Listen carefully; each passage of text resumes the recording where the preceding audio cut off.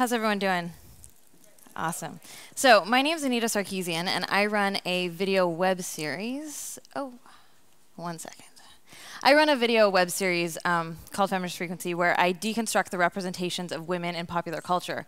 So I look at TV shows, movies, comic books, and video games. Now, I've been playing video games since I was about five years old, and it's no secret that the video game industry boasts some of the most sexually objectified, stereotyped, and downright oppressive portrayals of women in any medium. So, as some of you might know, last year I decided to launch a Kickstarter campaign to create a series of videos that would look specifically at the way women are portrayed in video games. The idea being that if you were interested, you could choose to donate, and if you weren't, you could choose not to donate. Seems pretty straightforward, right? What could possibly go wrong? So, I'm a pop culture critic, I am a woman, and I'm a feminist, and I'm all of these things openly on the internet, which means that I'm no stranger to some level of sexist backlash. I've sadly come to expect the typical gendered slurs, insults, and jokes that um, usually involve kitchens and sandwiches every time I open my computer. But this time, it didn't stop there. The situation quickly escalated, and I found myself the target of a vicious and sustained harassment campaign, waged by literally thousands of entitled male gamers. This was to a scale that I hadn't experienced before, and even people who were pretty jaded by this stuff were, were pretty taken aback. Um, the next few slides come with a very big trigger warning. All of my social media accounts were flooded with misogynist hate, including threats of violence, death, and rape. So this was Facebook, Twitter, YouTube, Tumblr, Formspring, Kickstarter, my Kickstarter campaign, Flickr, my website the Wikipedia article about me was vandalized with sexist and racist slurs and pornographic images. And when you look at the history um, of the edits to the page, there were a few dozen IP addresses involved. So this wasn't just one individual. Attempts were made to hack into my website, my email, and other online accounts. Denial of service attacks were launched on my website and knocked it offline for days at a time. Incidentally, this is still happening. Campaigns were launched to flag and report my Kickstarter campaign, my YouTube videos, and my Twitter account as spam, fraud, even as terrorism, in an effort to exploit the reporting functionality to get my account suspended. So what they were doing is they were using the anti-harassment function to harass me. Um, some people organized mini campaigns to report me to the FBI and the IRS.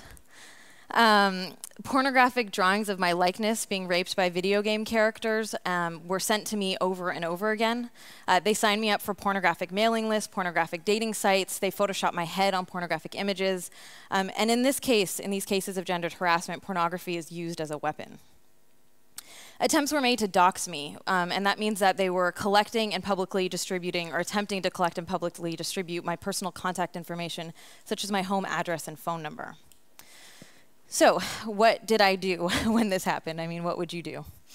Um, in addition to trying to lock down my online presence and try to shield myself and my privacy, I meticulously documented everything. So, one of the consequences of living in a culture of sexism is that people don't believe women when they say they're being harassed. That they don't think it's that bad or that we're just being too sensitive, right? It's just online, it doesn't have any real world impact. So I had long discussions with my team about whether to share any of it, why we're sharing it, what is the purpose of it, um, because there are risks involved to doing that. There was very real concerns about my personal safety. But being silent and not talking about it isn't helping.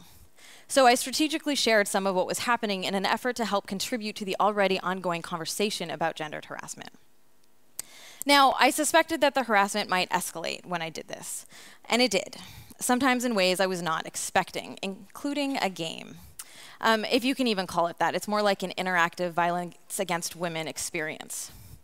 Um, the game was made and passed around, and players were invited to beat the bitch up, whereupon clicking on the screen, a photo of me would become increasingly battered and bruised. Um, so obviously I was not intimidated, I didn't back down, and I didn't cancel my project, and so far I've released three videos in my series. Um, but still attempts to discredit and silence me a year later continue to this day. Recently, the harassers collectively organized to falsely flag uh, one of my finished Tropes vs. Women YouTube videos en masse and successfully had it removed from YouTube for a couple of hours. Um, and they also made videos showing each other how to abuse the YouTube flagging system to encourage more participation in order to be more effective. So all of this is pretty grim stuff. Um, and I found that the traditional terms that we often use to describe online harassment were not really adequate to explain this phenomenon. While words like cyberbullying or trolling could be applied to some elements of what of the abuse I received, really the best way that I can describe it is um, as a cyber mob. So what's a cyber mob? Well, I first heard the term from um, law professor Danielle Citron, who's been studying cyber civil rights for many years now. Um, and cyber mobs have some unique elements. So, based on my experience and those of other women, I found that a cyber mob happens when a dominant group with a shared worldview comes together to try to collectively shame, harass, discredit, and destroy a target using on abusive online strategies. Members of cyber mobs typically delight in a form of cooperative competition with each other to ramp up the level of cruelty aimed at their target. Besides harming and silencing the target, the underlying goal of the cyber mob's actions is to reinforce their position of social dominance over members of marginalized or relatively powerless groups. So one of the things that I found fascinating, but also deeply disturbing, is that this cyber mob referred to their behavior as a game. So, in their minds, they fabricated this grand fiction in which they're the heroic players of a massively multiplayer online game working together to bring down a powerful enemy and stop her oh so evil plan. And apparently, they cast me in the role of the villain and determined that my diabolical master plan is to make a handful of videos on YouTube. Um, like, th it's this notion that I'm some feminist overlord and I'm going to destroy video games forever. Um, but as much as this is a disturbing analogy, I think that it's really helpful in understanding how a cyber mob actually operates. So, who are the so-called players of this game? Or who are the players of this so-called game? Usually when we think of online harassment, we think of teenage boys in their parents' basements. But that's just not the reality of the situation. While there were undoubtedly some boys involved, I was also attacked by thousands of grown men. And this isn't totally surprising considering the fact that the average age of um, gamers in the US is approximately 30. Where is this game played? Well, perpetrators turn the entire internet into a battlefield. So in my case, they focused their attacks on all of my social media accounts, everywhere and anywhere that I existed. Um, but these players also have a home base from which they plan their raids and coordinate their attacks. These are largely anonymous and unmoderated internet mess unmoderated internet forums and message boards like certain parts of Reddit and certain parts of 4chan. These are spaces with no real mechanisms for accountability. And it's important to note that anonymity is not the only factor behind or necessarily the cause of online harassment. In fact, many of the men who came after me used accounts with their real names, with their real photos, with their real places of work, their real uh, education, publicly listed. So the attack, so the lack of accountability, coupled with the performance of harassment for an audience of peers, were core to the driving of this campaign of hate. So why were they doing this? What's the goal of this game? Well, the immediate explicit goal is to take down the villain, and in so doing, save video games from me and my dastardly feminist schemes. Um, so to this end, the perpetrators tried to silence and discredit me and stop my project.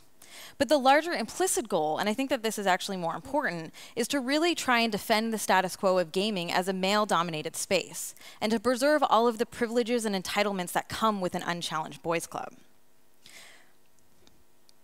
What type of game is it? Well, it's fundamentally a social one.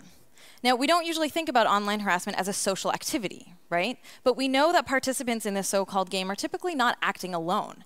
Instead, they're loosely coordinating their actions with, with each other.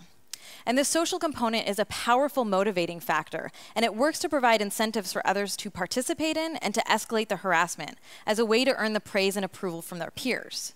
They're doing it for an audience, and they're doing it for each other.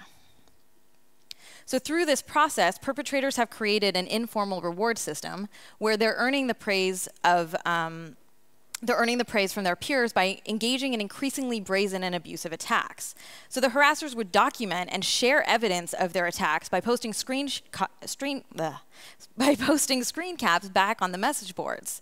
Um, so it acted kind of like trophies or achievements. So these screenshots would be things like the uh, screenshot of the Wikipedia vandalism or a screenshot of my site being knocked offline to sort of brag about what, what they were doing. Um, so this serves to encourage or dare others to join in on the harassment. And it creates a scenario where boys and men use macho posturing and the performance of misogyny for each other by showing off their excitement and their participation in the harassment. So this game analogy is helpful in understanding how cyber mobs operate, but the thing is, it's not a game. It's an overt display of angry misogyny on an enormous scale. It's not just boys being boys. It's not just the way the internet works. And it's not going to go away if we stop talking about it or ignore it.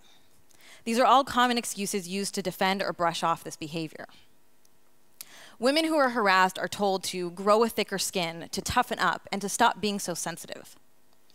But I don't think the price of admission to the world of gaming should be to disconnect from our emotional capacity or to distance ourselves from our own humanity. It's not a fair trade. It's simply not okay to ask people to jettison their ability to feel in order to deal with a constant barrage of slurs and abuse. Now, one reason for these attacks could be because the industry has been male dominated for so long, and we're currently witnessing the very early process of actually changing and transforming into a more inclusive space. And this is a transformation that is long overdue.